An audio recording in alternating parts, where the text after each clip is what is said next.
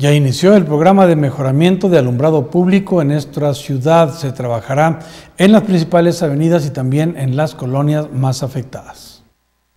La regeneración del sistema de alumbrado público en la ciudad de Chihuahua ya inició y se está trabajando en seis cuadrantes con el objetivo de mejorar el servicio lo antes posible. Así lo explica Alan Carabeo, encargado de esta área en el Ayuntamiento de Chihuahua.